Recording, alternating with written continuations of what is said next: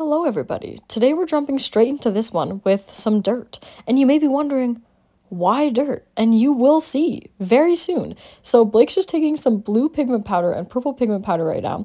And what he's doing is he's going to swirl it together to create a beautiful sky. And it's very satisfying to see it all come together. He thought that the blue and purple wasn't going to look good together.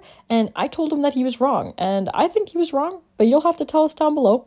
Anyways, so here he is um, inlaying all of the mushrooms, the lichen. They're all real, actually, which is pretty cool setting it into place, aggressively sanding it as he does, polishing it to make it look all beautiful and shiny, and then this is the final product. Um, what do you think about the blue and purple? I think it's cute. I wear it every day, so